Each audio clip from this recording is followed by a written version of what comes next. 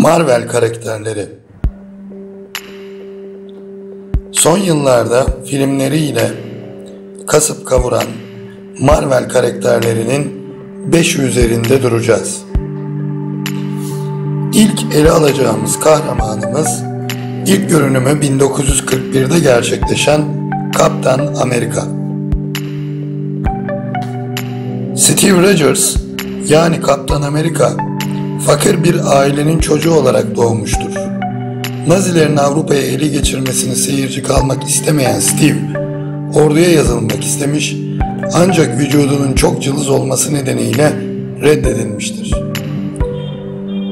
Bu sırada General Chester Phillips, Steve'in ordunun süper asker projesine katılabileceğini ve bu sayede Nazilerle savaşabileceğini ancak serumda bir hata çıkarsa anında öleceğini söylemiştir. Kahramanımız bu riski göze alıp serumu yemiş ve ardından da Amerika'nın süper kahramanı olarak Nazilere karşı ülkesini korumuştur.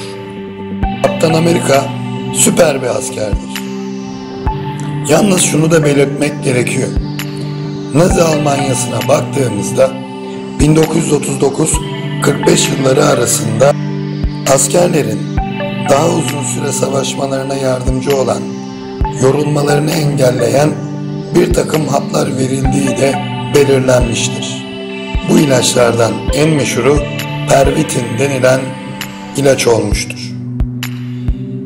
39-45 yılları arasında yaklaşık 200 milyon Pervitin hapı dağıtıldığı ortaya konuluyor. Bu ilaç kokain temelli uyarıcı bir ilaç olma özelliğine sahip. Bunu alan askerler sırtlarında 20 kilogram yükle 100 kilometreden fazla yürüyebiliyor, kolay kolay yorulmuyor, adeta robotlara dönüşüyorlardı. İşte bu noktada süper asker yani Kaptan Amerika aslında Almanya kökenli olup olmadığı akla gelen en önemli sorular arasında. Bir diğer Marvel karakterimiz Iron Man, Demir Adam. Marvel'in 1963'te çıkardığı bir diğer süper kahramandır. Demir Adam, Tony Stark, Stark Endüstrileri adlı babasından kalan şirketin başına geçmiş, silahlardan para kazanmıştır. Tony Stark'a düzenlenen bir suikast sonucunda vücuduna şarapnel parçaları girmiş, özellikle kalbi büyük hasar görmüştür.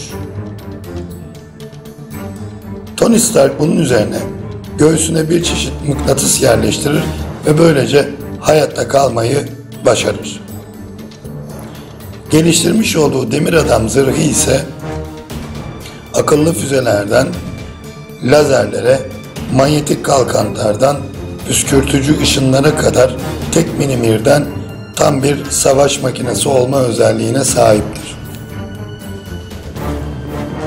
Marvel'in 1962 yılındaki bir diğer kahramanı da Hulk olmuştur. Bruce Banner adlı Hulk kahramanı radyasyon kaynaklı mutasyona uğramıştır. Çok büyük bir güce sahip olmuştur. Öfkelenince artan gücüyle yemyeşil kocaman bir deve dönüşür. Hulk'un gücünü özetle şöyle söyleyebiliriz ki koyduğu zaman oturtamayacağı, parçalayamayacağı herhangi bir unsur yoktur. Arabaları bir kürdan gibi havaya kaldırıp binanın bir tarafından girip öbür tarafından çıkabilecek kadar büyük bir güce ve dayanıklılığa sahiptir. Bir diğer Marvel 1960'larda ortaya çıkan Thor olmuştur. Thor, İskandinav mitolojisinin en güçlü tanrılarından biridir. Elindeki çekici ondan başka hiç kimse kaldıramaz.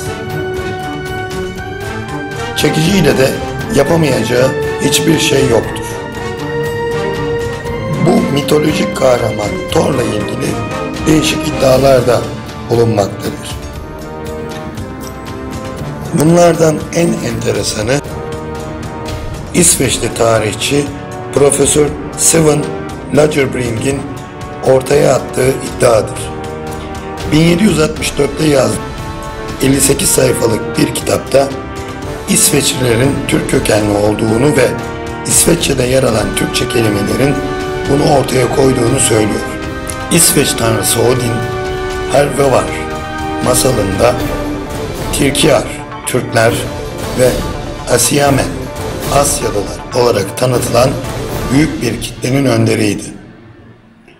Tasvirlerde kurtlarıyla gösterilen Odin'in çok mülkünün bulunduğu Türkland'dan İsveç'e yolculuğu masalda ayrıntılarıyla anlatılır. Torun babası Odin'in Türk olması torunda Türk olduğu iddialarını doğurmuştur. Üzerinde duracağımız son Marvel karakteri yine 1964'te ortaya çıkan Hawkeye yani Şahin Göz olmuştur. En büyük mahareti ise okçuluktur.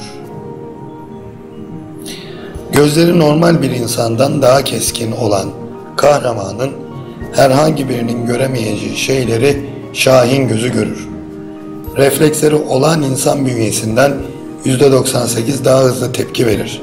Şahin göz 2 metre boyunda çift katlı dayanıklı 2,5 kilo ağırlığında 75 santimetre gerilme kapasitesiyle bir yay taşır.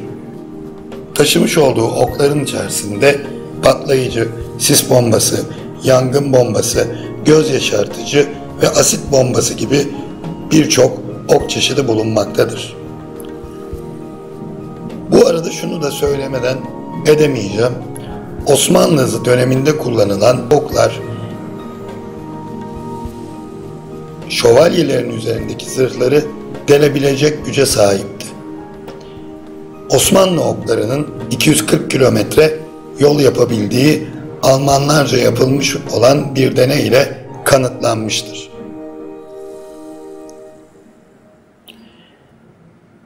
Beş Marvel karakterini tanıtmaya çalıştık. Başka bir videoda görüşmek üzere.